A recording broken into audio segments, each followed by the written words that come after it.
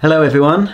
The vacuum cleaner in today's video is a little bit of a rarity in cordless cleaners because this Halo capsule takes dust bags. There are a few other models available that take bags including of course the Henry cordless and there's a model from Gtech but mostly cordless vacuum cleaners are bagless. So I wanted to try out a Halo capsule. Now the Halo gets a Which Best Buy. It's also recommended by the Good Housekeeping Institute and Tech Advisor give it the best vacuum cleaner of 2020. So, all big awards. Let's see what it's like when I test it. Now, I paid for this myself. Haven't been given this free of charge. So, we get a user guide. Now, with this particular bundle, you get 52 bags, which Halo reckon will sh should be about two years of use. So We've got all these packs of bags. Normally, with a normal bundle, I think you get two bags. So they are going to last a very long time in the average home. So that's all the bags out the way. We've got a crevice tool. Which looks fairly generic. It's got a pip fitting, a bit reminiscent of the old-fashioned Hoover crevice tools. Another nozzle we have is a mm, it's a dusting brush, but it's quite stiff brushes. I wouldn't want to use that on delicate items. It'll be okay on shelving, curtains, lampshades, but I wouldn't use it on my TV screen or anything like that because they're quite stiff for a dusting brush. This is the mains charger. Being a UK version, it's obviously got a UK plug on it. Here we have the floor head, which is designed for carpets and hard floors because you can turn off the brush roller. Fairly narrow. Quite stiff brushes, a very narrow opening though, so I'd be wary of this blocking up. And another thing I'm a bit wary of is this tube that connects the floor head to the tube on the machine. This flexible tube here, now I've seen other vacuum cleaners that use a tube like this and this style is prone to split. So I'm hoping it's not going to split on this one. I know Shark had a problem with their vacuum cleaners and they've completely changed this material into something that's not see-through and it's uh, a black more robust material. So we'll have to see in future if that splits and I expect if it does split you'll just get a completely new head. That's what manufacturers tend to do these days. Anyway that's the floor head. Here's the cleaner itself which is quite large but it's not too heavy. But I'll look at that a bit closer in a minute. And finally out of the box we have the lightweight wand, which, yes, it's uh, aluminium.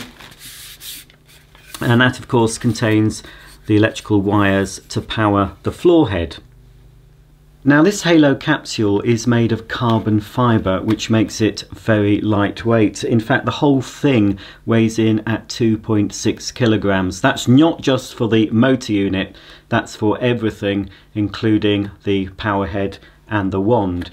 This part is even lighter. It's not ultra compact, but I have to confirm that it is light in the hand. It's got quite a retro styling to it. I'm particularly reminded of old-fashioned vacuum cleaners with this catch. This catch is actually made of metal and this is the catch that you open to access the large dust bag. In fact, the dust bag capacity, or as Halo call it, the dust pouch capacity, is 1.6 litres, which is considerably larger than the majority of cordless cleaners and even larger than some bagless uprights. So to access the dust pouch, we just flip up the metal clip and we can open the lid and lift out the bag. Now it's got a bit of a seal to keep the dust in and it's a conventional paper bag but looking at it it's twin skinned there is two layers at least of filter material. And being paper I suppose it's better for the environment. It's paper and cardboard but of course there's that little silicone seal as well. And underneath we have a filter. Now being a bagged cleaner there's no messy cyclones there's no messy bagless containers to empty. Basically when this bag is full you lift it out and replace it with a new one. So there's going to be a lot less maintenance. This filter is washable but I think that's going to stay cleaner than the majority of cordless bagless cleaners I've looked at. There's also just underneath another little filter that you can wash, but I don't think that's going to get very dirty. The dirt will have to pass through the bag and this filter before it gets to the final motor filter there. So that just fits in. So this is a very simple cleaner. But in my experience, sometimes if you overcomplicate things, it doesn't make them clean any better. It's just a nice, easy, clean way of disposing of dirt, in my opinion. And I'm glad to see that some manufacturers are introducing bagged cleaners again. When you close the cover, you've got this little flap as well. That's to help prevent any dirt from falling out of the machine. Because obviously when it's in this position, if there wasn't a flap there, dirt would fall out of the dust bag. I do like this finish. Can't really describe it, but it's uh, quite smart. And you've got a little, there's an anti-slide grip there, so I assume that means you can lean it up against a wall, because this will not stand up on its own. Let's have a quick look at these controls. There are just three buttons on the cleaner. This button turns the machine on and off. The blue button here turns the brush roll on and off and then we have the power selector button that selects from the three speeds. So you've got a low speed for lightweight cleaning, a medium speed for general day-to-day -day use and a maximum speed for heavily soiled areas. And you also have an indicator here to show you the charge in the battery. And finally at the bottom, a bag check indicator. One thing that slightly disappointed me about the Halo capsule is the lack of a mini motorized brush. Now many cordless vacuum cleaners offer a mini motorized brush as an option or included with PET versions but with a capsule you only get the main motorized carpet and floor nozzle. Saying that it is possible to connect this directly to the cleaner like so so you can use the machine on stairs in this configuration. It does make it a bit heavier but it's not too bad. It is manageable and the head isn't exactly wide. It's certainly not as wide as a, a, normal upright vacuum cleaner. So you should be able to do your stairs with no problem. I will be testing this machine all around my house, of course. So we can take the nozzle off and I've just noticed that it's a bit stiff to remove. It might loosen up in time. Doesn't really seem to click. It is in position, there's no satisfying click though, but yeah, it's okay. It will loosen up hopefully. And of course you can attach the small nozzles directly to the end of the cleaner. But of course the nozzles will also fit on the end of the wand so you can clean up high with the dusting tool. Just put it on the end like that and then you can get those cobwebs etc. So for day-to-day -day use for carpets and floors we need to attach the wand. And again it's it's locked in place but there was no no satisfying click but it is very firmly in place. And then of course we can attach the power head into the end of the wand. Let's have a quick look at the power head rotating. It's very simple design. We've just got two rollers here and two wheels at the back um, the suction on it, the side suction and cleaning to the edge, I'm not sure will be very good because you can see there's quite a gap. And also something else I've noticed on this, there's no easy access to remove the brush roll. There's no button, there's nothing.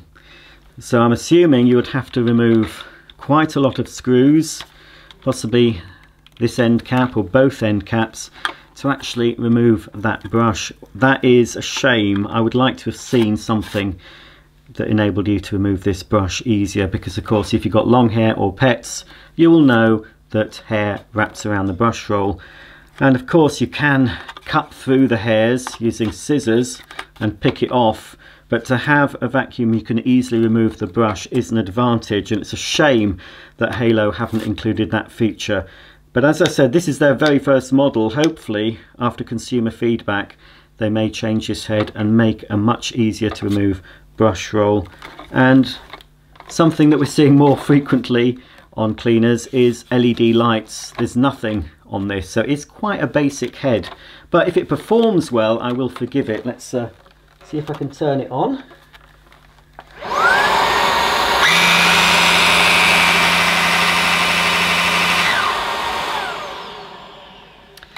So it's relatively quiet, that brush head. It doesn't really add very much to the noise of the cleaner. There is a system where if it gets caught up, if you run over a sock under the bed or something gets jammed in the brush roller, it will automatically switch off and a light will illuminate here to warn you of that problem. And then it'll just reset it. Once you've cleared the brush, you can switch it on and off again and it should be fine. Okay, well I'm going to give, give this the first push over this plush carpet. If you've watched my channel for a while, you may remember when I got this carpet fitted, I tried out several vacuum cleaners and uh, one vacuum cleaner that really couldn't cope with this carpet on its highest setting was the Dyson V11. On its lowest setting, it did work, but on most settings of that Dyson, the brush roll just cut out. So it'll be interesting to see if the Halo capsule can beat the Dyson in that respect. Now obviously you must fully charge the Halo capsule before first use and I pre-charged this prior to making the video but when you get yours make sure you plug it into the charger and wait until all four blue lights illuminate on the cleaner itself and then you know it's ready to use. There is a little bit of charge in the machine but for best results just leave it to fully charge before you try out the Halo capsule for yourself. Okay, this is the very first time. Now when you switch it on, the default is brush roll off, so you do have to press the blue brush roll button to turn it on for carpets. The default setting, suction wise, is the medium setting, so I'm just going to leave on that and see how it copes for this initial first use.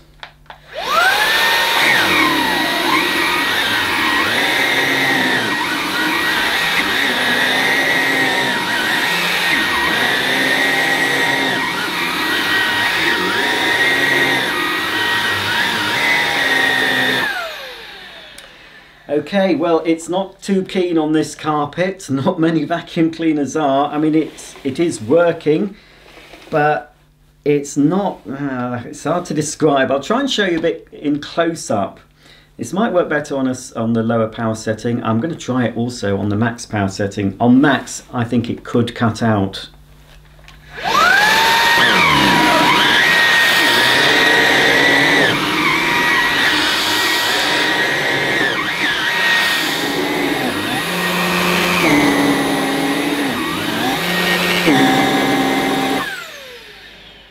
Now the problem I'm having on this particular carpet is the motorized head on the Halo capsule tends to lift up when I'm pushing it forward. When I'm pulling the cleaner head back it does make full contact with the carpet but as I'm pushing it it does tend to skip around a bit. Now that's on medium. I'm just going to try on the minimum setting.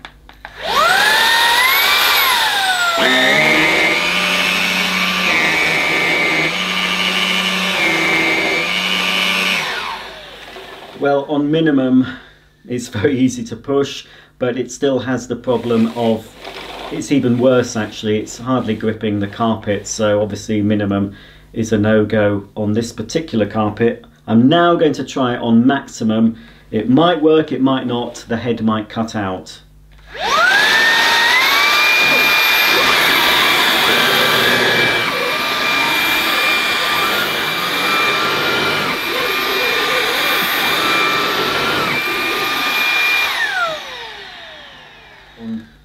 Well, on the medium setting, this Halo capsule does work on my plush pile carpet, but it skips a bit. It doesn't make full contact with the carpet until you pull the head back. On the forward push, it's it's a little bit light and yeah, it's a little bit disappointing on this carpet. But there are not many cordless vacuum cleaners that I've tried cope very well with this particular pile. Only my Shark cordless cleaners with the Duo Clean brush roll seem to clean it with no problem. Anyway, I'm going to move on to a shorter pile carpet that you'd find in most homes and um, I think I'm going to get better results. I've come upstairs to try the Halo capsule on a lower pile carpet. Now I live in a three storey house and apart from the living room all the other rooms, except the bathrooms and kitchen, are carpeted in this short pile man-made carpet. So I'm sure the Halo capsule will be able to cope with that far better than it can cope with my plush living room carpet. Okay, I'm going to use the default setting, which is medium, switch the brush roll on and see how it performs.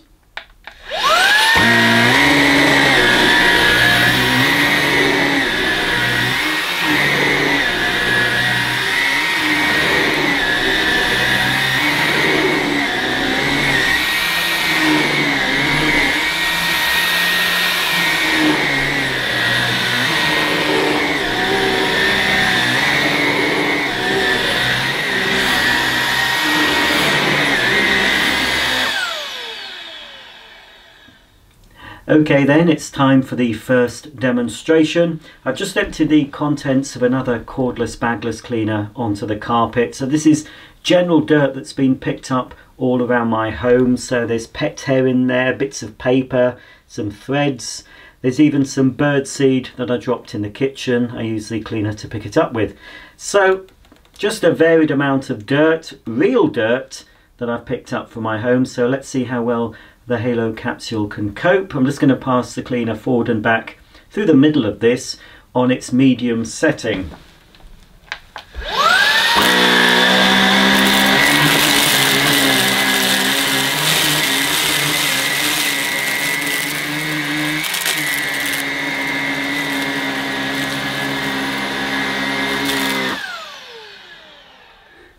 Well, as you can see, it has done a very good job on this short pile carpet. One slow forward and back pass and really nearly everything has been removed.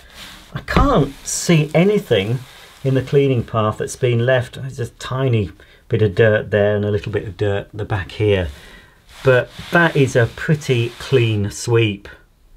I'm going to clean this dirt up using the Halo capsule on the minimum setting to see how well it copes.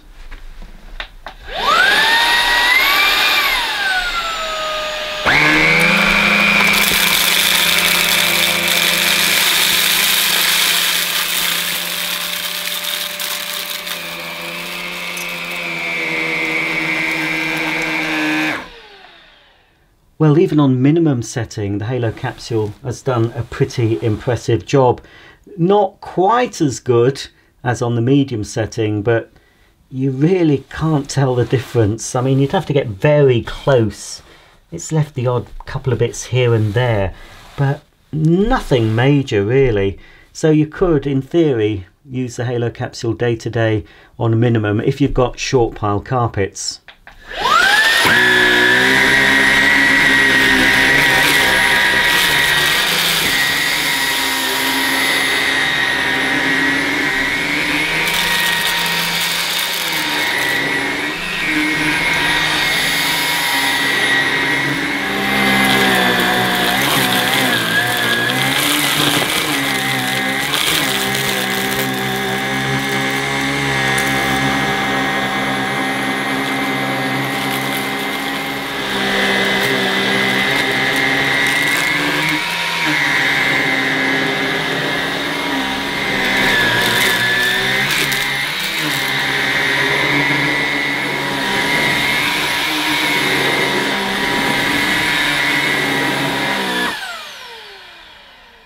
I'm in my kitchen now and I've put down a lot of dirt onto the kitchen floor to test the Halo capsule. So there's various sizes of particles, the finest being flour and then loose leaf tea, lentils and rolled oats. There's a bit of bird seed in there as well.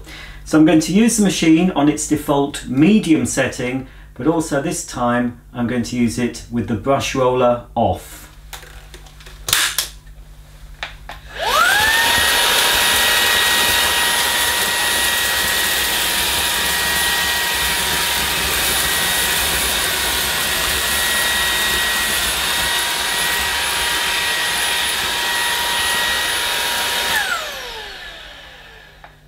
Well, that's pretty impressive. A fairly clean sweep.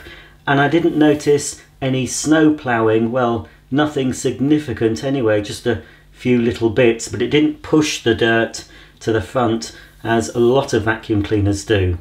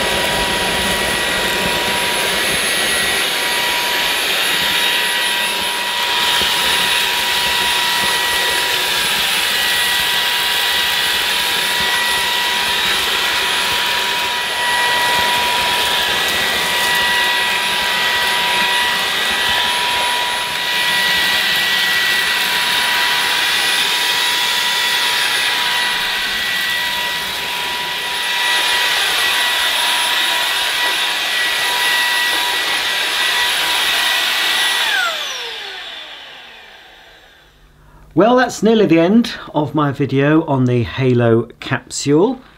We can have a look at the dirt we've picked up. Little bit spilt out over the top. But all the dirt I've removed in this demonstration is inside the bag. And if we have a look inside the container, now, might be hard for you to pick up, but there is some fine dust. I have to say, there's some fine dust inside this container. Not a huge amount, but there is some. If we have a look at the filter, that is still pretty clean, very, very clean in fact. If I'd done these same demonstrations using a bagless cordless cleaner, I would expect to see some dust and dirt on the filter. So it's not done too bad. Now it does have pros and cons. Obviously this is a first look video. I've not had this machine for long. So I can just give you my initial summing up regarding this vacuum. Now I love the fact it is a bagged cordless vacuum. That is the biggest plus point for me, which means less messy emptying. Regarding the unit itself, it is relatively light and easy to handle. A little niggle, I would have preferred the default setting to be brushes on. So every time you turn the cleaner on, you've got to press the blue button in order to make the brushes go around. Now that's fine if you live in a house with mainly hard floors you won't need the brush but if you live in a house that's mainly carpeted you'll want to have the brush on most of the time so it's a bit it's only a small thing, but you have to turn it on, then press the brush bar um, on button. I don't mind the fact that the, the default suction setting is medium because I think you will do most of your cleaning in the medium mode. One other negative about this cleaner, there's no swappable battery. Obviously there is a battery inside, but it is not a battery you can easily take out and swap with another one. So that is a, a little down point regarding batteries. I think it's always best to have a machine where you can take the battery out and put a new one in straight away to carry on with your cleaning. So all in all, I think the main issues I've got are regarding the head. Now this head, and I've looked back at my Vax Blade video, this is basically the same head underneath as uh, the Vax Blade, the first edition Vax Blade. They've got newer models out now which will have different heads, but the brush roller, the rollers on the bottom, it looks very similar, right down to the fact that you have to undo screws here in order to get access to the brush roll. And the brush roll isn't the best on certainly not on this carpet. It's fine on short pile carpets and as you saw from the demo it was fine on hard floors but all in all if I had to change one thing about this cleaner would be the brush head. I think it needs looking at again. It needs to be made a bit more substantial. Even if it makes it heavier, it wouldn't matter because you're not lifting up the brush roll when you're cleaning. All the weight is in your hand using the suction unit. But the brush roller, uh, the motorized head, it doesn't matter if that's a bit wider and heavier because you don't feel the weight of it. Another slight niggle I'll mention before I go regarding the other tools. I would prefer a softer dusting brush but also where's the upholstery nozzle? There isn't a small upholstery nozzle. You could at a push use this on upholstery but most upholstery unless it's hard wearing I wouldn't recommend it. So it would have been nice to have a small upholstery nozzle so you can do your soft furnishings using the halo capsule but apart from that, I did try this on my stairs off camera and it is about the same width as a standard stair. So it was fairly easy to vacuum the stairs this way and it did actually bring the pile up. So it is good on stairs using the motorized head. I'll be looking in a bit more detail at this vacuum cleaner at a later date after I've used it a bit more around my home. But in the meantime, if you've got any comments or questions about the Halo capsule, please comment below and I'll see you all for the next video coming up very soon. Bye for now.